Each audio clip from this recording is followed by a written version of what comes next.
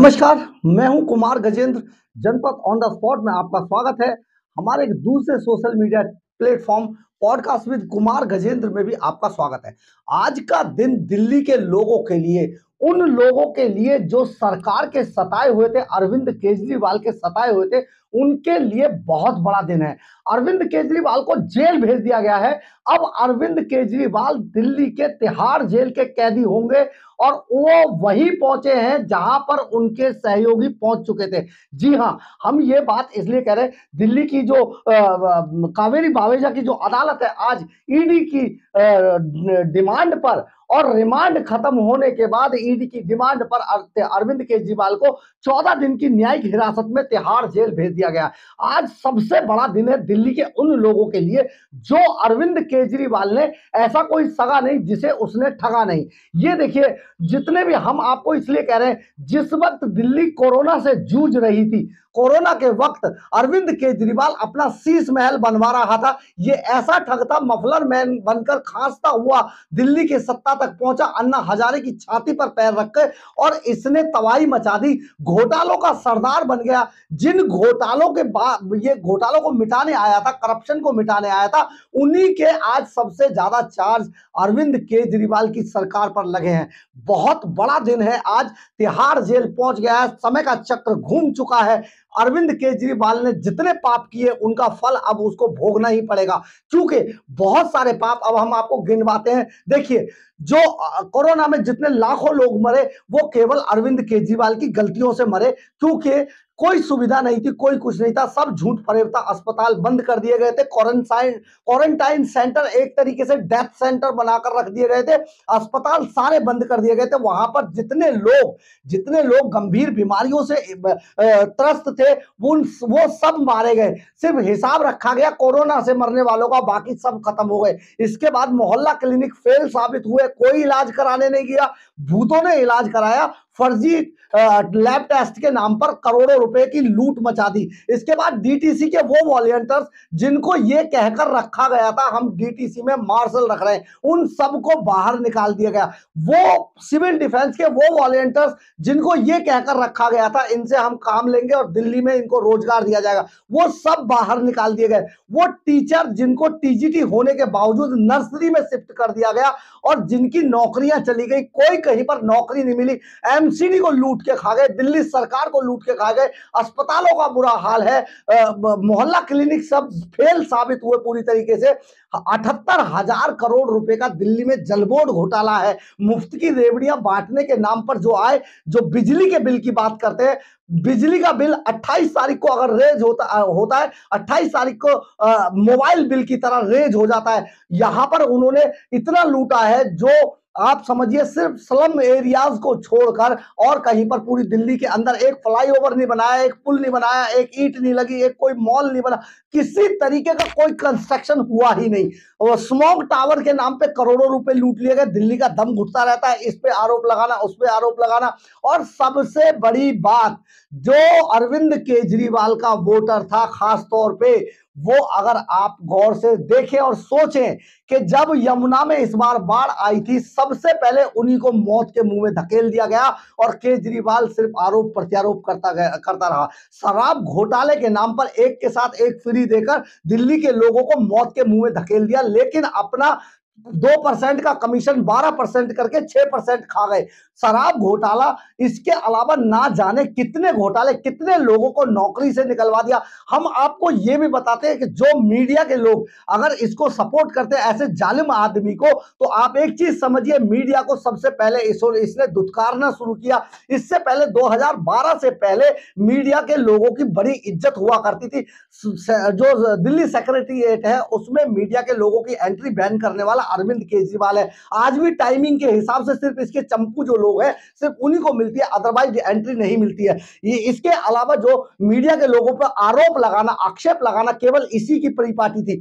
हम आपको ये भी बता देते बहुत बहुत बड़े बड़े जो पत्रकार थे, जो अपने आपको बड़े नाम कहलाते थे टीवी के, मैं आपको उनके नाम नहीं ले सकता हूँ, लेकिन एक समय पे रामलीला मैदान में इसके चंपू हुआ करते थे, इसी की फ्री की मुफ़्त की दारू पिया करते थे, और इसी के गाल बजाया करते थे। वो सब आज नौकरी से बाहर बाहर हो चुके हैं और अपने अपने यूट्यूब चैनल चलाकर अपना पेट पाल रहे हैं। बहुत बड़ी बात हम आपको बता रहे हैं। अरविंद केजरीवाल अब तिहाड़ जेल जा चुके हैं सैनिटाइज किया जा चुका है जेल नंबर पाँच को और वहाँ पर अब वो रहेंगे अपने बाकी साथियों। मनीष सिसोदिया करीब एक साल से जेल के अंदर रह रहे हैं। इसके अलावा जो सत्येंद्र जैन है, वो बार बार बीमारी का बहाना लेकर मज़े काट रहे थे। अब उनको भी तिहाड़ जेल भेज दिया गया।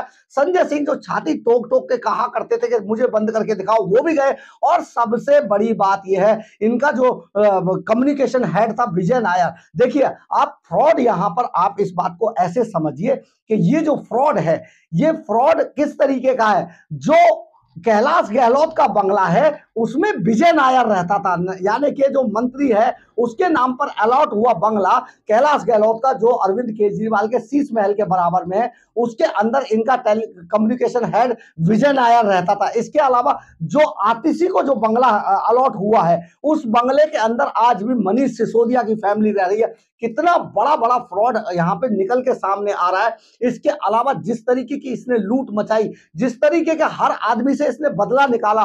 हर अधिकारी इनका दुश्मन था, हर अफसर इनका दुश्मन था, हर आदमी, वो आदमी जो अरविंद केजरीवाल की बात नहीं मानता था, उसको नौकरी से बाहर करा दिया गया। लाखों ऐसे लोग हैं एमसीडी के कर्मचारियों को तनख्वाह नहीं मिल रही है। जो बुज़ुर्ग पेंशनर थे डिपार्टमेंट दिल्ली गवर्नमेंट के डिपार्टमेंट में जो बुज़ुर्ग पेंशनर थे, उनको कई कई महीने की पेंशन नहीं मिलती है। एमसीडी के अंदर सैलरियाँ नहीं मिल रही है डीटीसी के अंदर सैलरियाँ नहीं मिल रही है। इसके अलावा दिल्ली के अंदर बहुत बुरा हाल है। हालत ये है, हालात ये है कि जो दिल्ली के अस्पताल हैं, उनके अंदर भी जितनी नर्सें हैं, वो भी डॉक्टर भी कई बार प्रदर्शन कर चुके हैं, उनको सैलरियाँ नहीं मिलती है। इसके अलावा जो दिल्ली यूनिवर्सिटी के कई कॉलेज, जो दिल्ली सरकार के अंडर में आते हैं, उनमें लेक्चरर्स और जो बाकी स्टाफ है, उनको सैलरियाँ नहीं मिलती है। यानी कि कुल मिला दिल्ली का सत्यानाश करने वाला अरविंद केजरीवाल, मुफ़्त की रेबड़ियों पर मौज काटने वाला अरविंद केजरीवाल अब तिहाड़ जेल के अंदर पहुँच गया है और अब तिहाड़ में, आप देखिए, ड्रामेबाजी देखिए इनकी।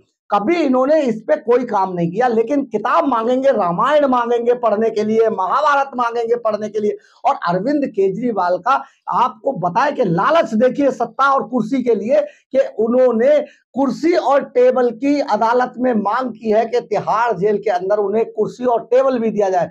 तो आप समझिए कितने ड्रामेबाज हैं। इसी तरीके से संजय सिंह ने बड़ी किताबें मांगने की कोशिश की ताकि सिर्फ़ ये मीडिया में प्लांट करने के लिए ऐसा करते, इनके पास ऐसा कोई काम नहीं, कोई धारणा नहीं है जिससे पब्लिक का भला कर सके, गरीबों का भला कर सके, दिल्ली का भला कर सके। लेकिन दिल्ली को लूट के खाने वाला जो बादशाह था अली बाबा चालीस चोरों का अली बाबा अब तिहाड़ जेल के अंदर बैठेगा और आप विश्वास कीजिए, अब वो जेल से बाहर नहीं आएगा क्योंकि बहुत पुख्ता सबूत है। अब इसके बाद सीबीआई की टीम इनसे पूछताछ के लिए बैठी है तैयार। इसके बाद एनआईए गुरपतवंत सिंह पन्नू ने जो आरोप लगाए हैं 133 करोड़ रुपए इसको देने के जो आतंकवादी देविंदर सिंह भुल्लर को छोड़, छोड़वाने के लिए, उस पर भी एनआईए अलग से एक मुकदमा दर्ज करेगी अरविंद केजरीवाल पे और इसमें भी जाँच होगी। पंजाब की सरकार हम आपको बता ही चुके हैं, राघव चड्डा मुख्यमंत्री होंगे, बहुत जल्दी गिरेंगे। और सबसे बड़ी गाज अब ये गिरने वाली है अरविंद केजरीवाल के पास।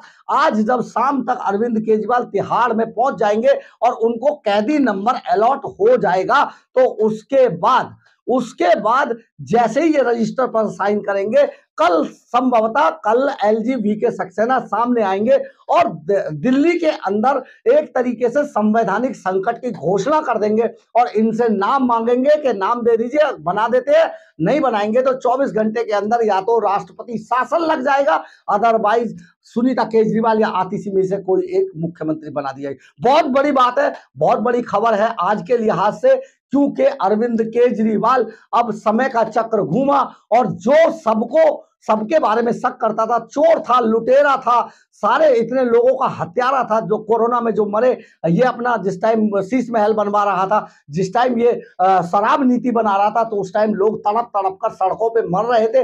उनका हत्यारा अरविंद केजरीवाल अब तिहाड़ जेल पहुँच चुका है। बहुत जल्दी बहुत सारी बातें आपके सामने रखेंगे। तब तक के लिए हमें इजाज़त दीजिए। अगर आपको हमारी खबर अच्छी लगी हो तो आप इसे लाइक सब्सक्राइब और शेयर ज़रूर करें। कमेंट्स बॉक्स में अपनी राय ज़रूर लिखें। अगर आप हमारे चैनल पर नए हैं तो हमारे चैनल को ज्वाइन ज़रूर कर ले। इसके अलावा अगर आप हमें आर्थिक रूप से मदद करना चाहते हैं तो आप हमारे सुपर थैंक्स के बटन को दबाकर आर्थिक रूप से आप हमें मदद भी कर सकते हैं। जय हिंद, जय भारत।